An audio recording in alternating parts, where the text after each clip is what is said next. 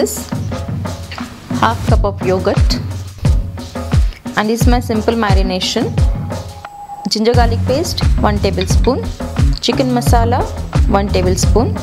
Salt as per your requirement this is about 2 teaspoon. And black pepper powder 1 teaspoon. Uh, red chili powder again as per your taste this is about 2 teaspoon. Turmeric powder 1 teaspoon oil 1 tablespoon and half lemon. Now quickly make our marination first. To this yogurt i'm going to add ginger garlic paste chicken masala salt black pepper powder red chili powder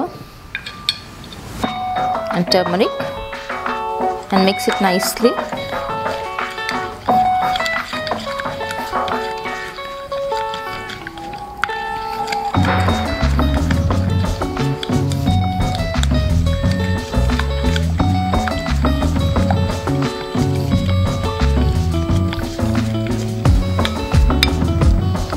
this marination is ready and I'm going to add this oil. This is going to give nice texture to your kebab. And I'm going to squeeze this lemon into this. This lemon will help make uh, chicken tender very fast.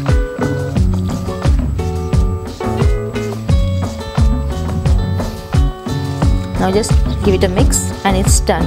It's very easy and quick recipe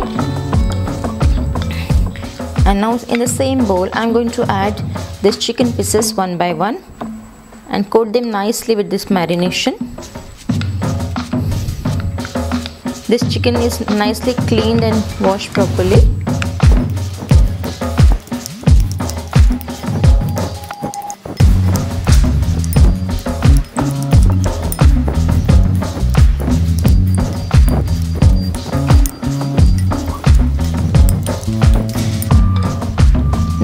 chicken pieces are into marination and we preheat air fryer at 180 degrees celsius for about 3 minutes. Now the air fryer is preheated. Now let's put our marinated kebabs in this. We'll arrange it directly on this grill.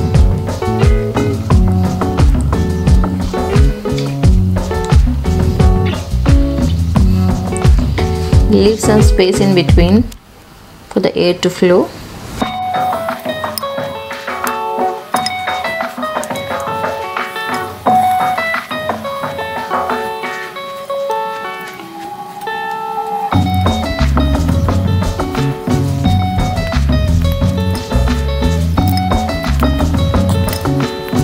Now all these kebab pieces are placed now let's close it and again at 180 degree we'll keep it for about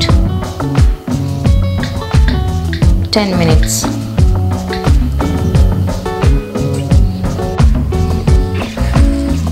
Let's see.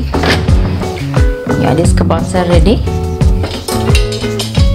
Let's take it out